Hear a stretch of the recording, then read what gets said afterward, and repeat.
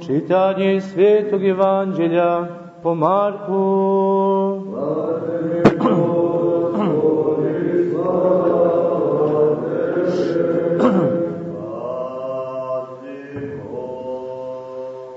U vrijeme ono dođe Josif iz Arimateje, ugledan savjetnik, koji sam carstvo Božije čekaše, i usudi se te uđe Pilatu i zaista tijelo Isusovo, a Pilat se začudi da je već umro i dozvavši kapetana zapita ga, je li davno umro?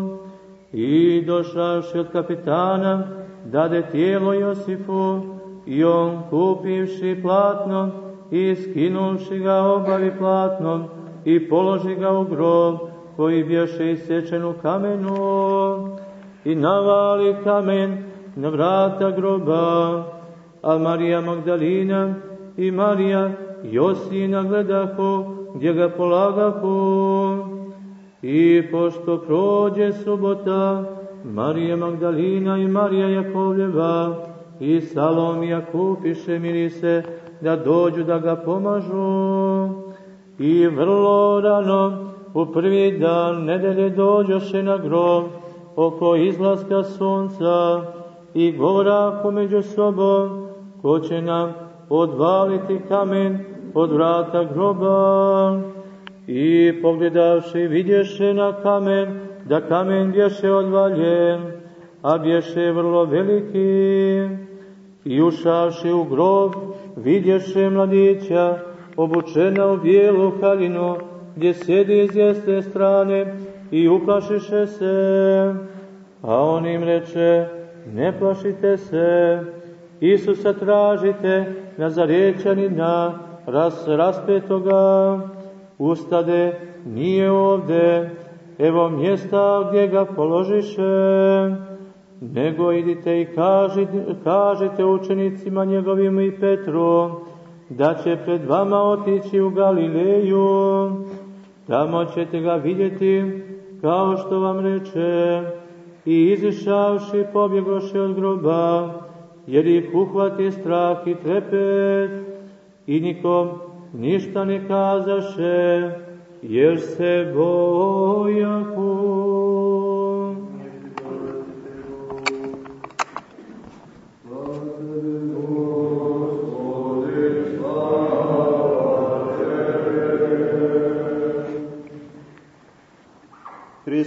Hristos vaskrse. Eto, vaskrse Hristos. I mi u ovom periodu 40 dana proslavljamo bogoslužbeno njegovo slavno vaskrsenje. A u ovom životu naša uloga, naša potreba i naša dužnost nije ništa drugo do da budemo svedoci vaskrsenja Hristovog. Iako se vaskrsenje dogodilo jednom u istoriji, pre više od 2000 godina, premda mi nismo tada bili živi da ga vidimo kao što su ga videli oni koji su tada živeli, ipak potrebno je da posvedočimo vaskrsenje Hristovo, da ga najpre osetimo u svojoj duši, svoj srcu, svome srcu, svojim umom, da poverujemo tako čvrsto u njega da ono postane realnost našeg života, ne neka daleka priča, neki dogmat vere koji moramo da usvojimo da bi izbjegli večne muke. Ne, već da postane realnost našeg bića, da sve svoje misli, sve svoje reči, sva svoja dela natopimo tom svešću da je Hristos vaskrsao, da je smrt pobeđena, da nema više greha koji nas može tiranisati i svesti u ad, osim ako mi to sami ne poželimo, komu se sami ne predamo. A onda je već jasno da nemamo tu svest o Hristovom vaskrsenju.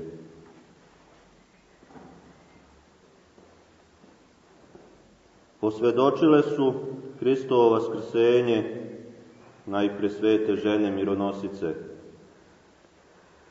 I evo ovu treću nedelju po vaskrsenju Hristovom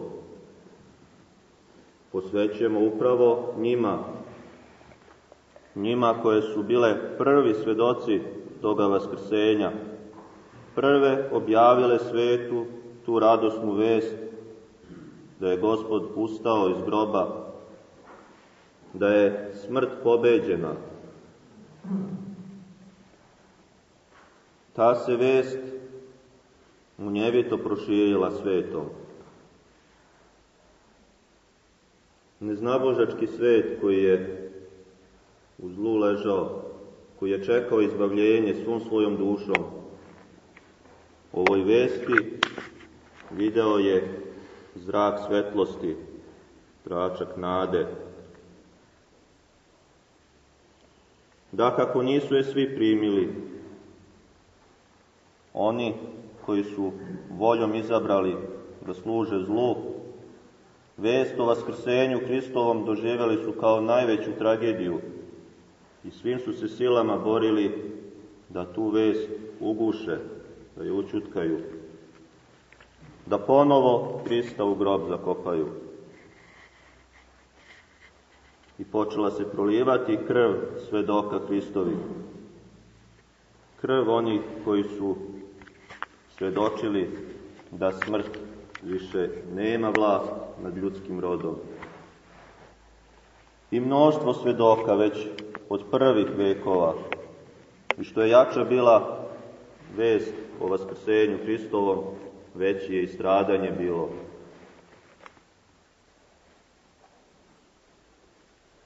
I posle žena mironosica, dakle, mnoštvo mučenika i do današnjih dana. Ali eto, vratimo se malo na samo to prvo vreme. Žene mironosice, kako je rečeno u Evanđelju, vrlo rano u prvi dan nedelje dođoše da pomažu telo Hristovo.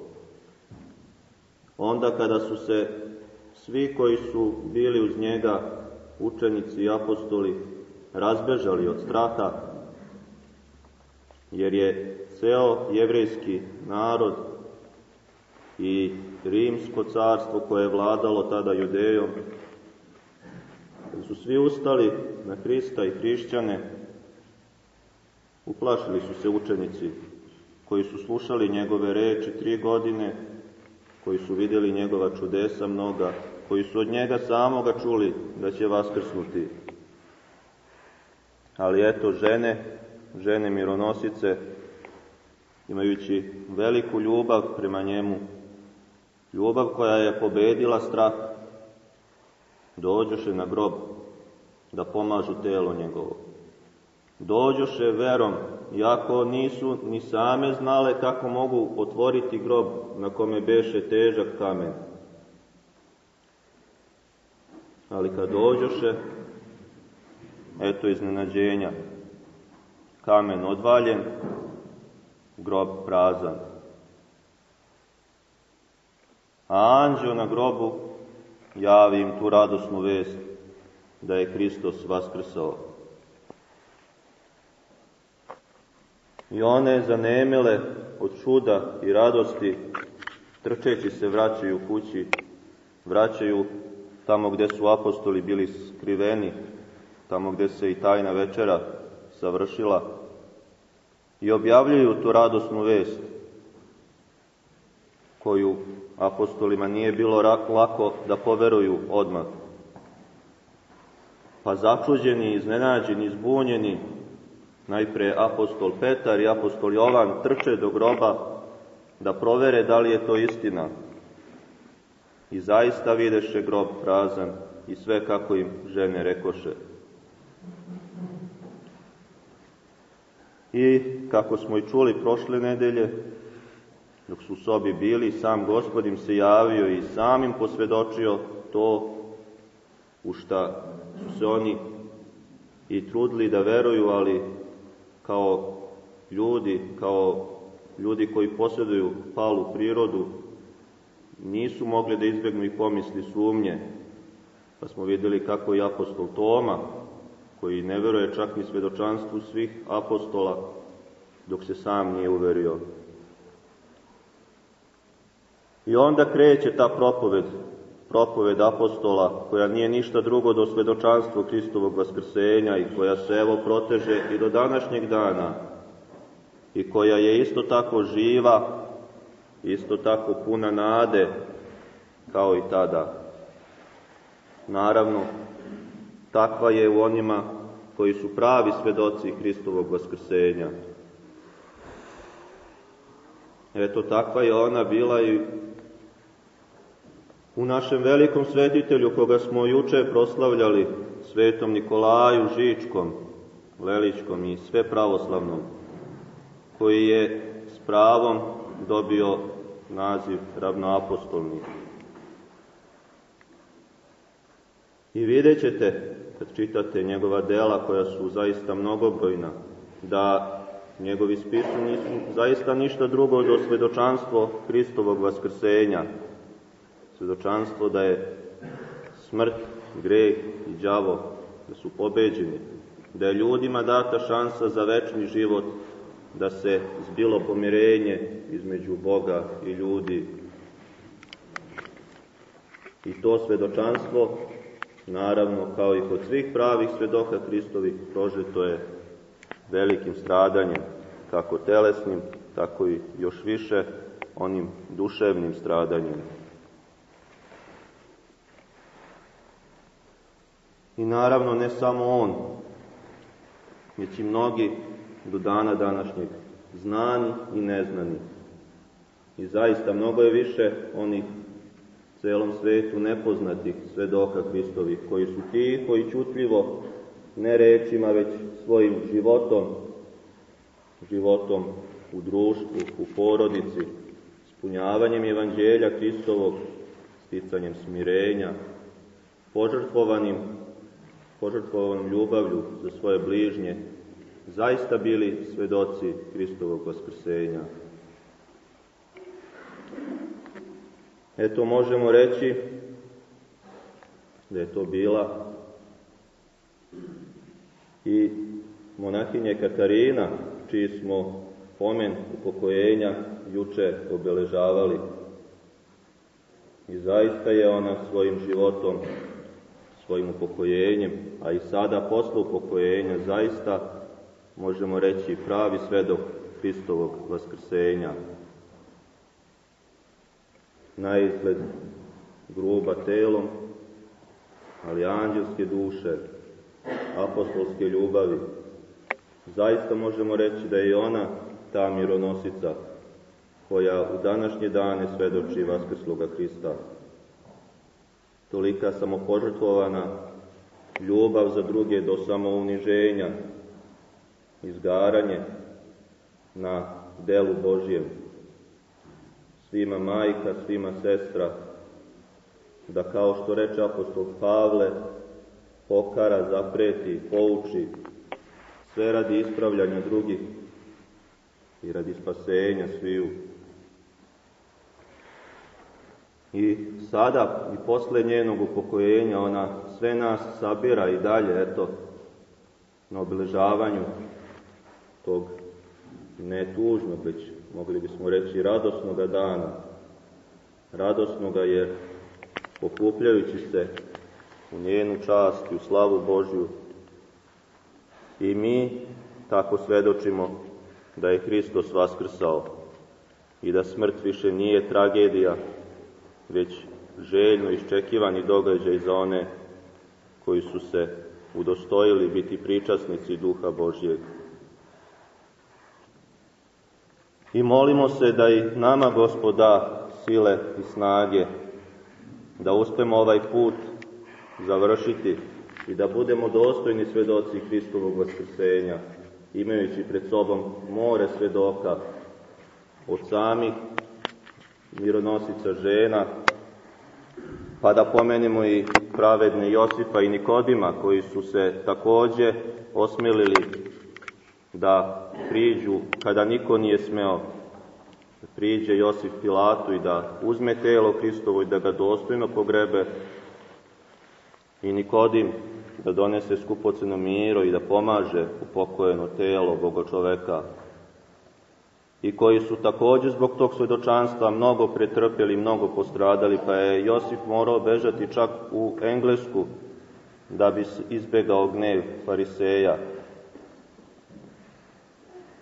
Imajući dakle njih i imajući vaskrslo gospoda stalno pred sobom, da se udostojimo, da ovaj put do kraja prođemo u smirenju i ljubavi prema Bogu i bližnjima i da tako zajedno sa njima svima Carstvo nebeskog večno slavimo vaskrsloga gospoda. Neka bi gospod dao svima nama to. Hristos